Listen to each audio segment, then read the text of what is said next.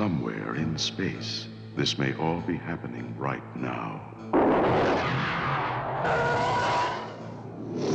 20th Century Fox and George Lucas, the man who brought you American Graffiti, now bring you an adventure unlike anything on your planet.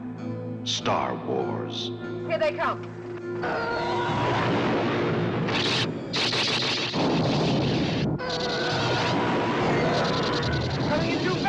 Story of a boy, a girl, and a universe.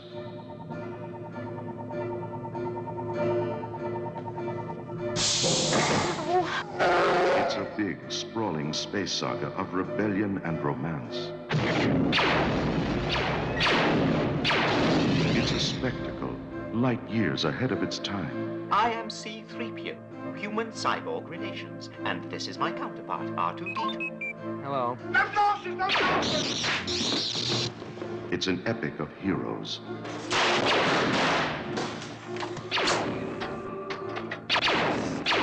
Good luck. and villains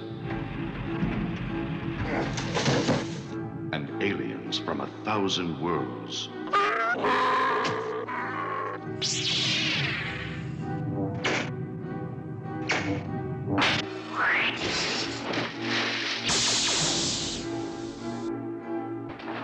Kid!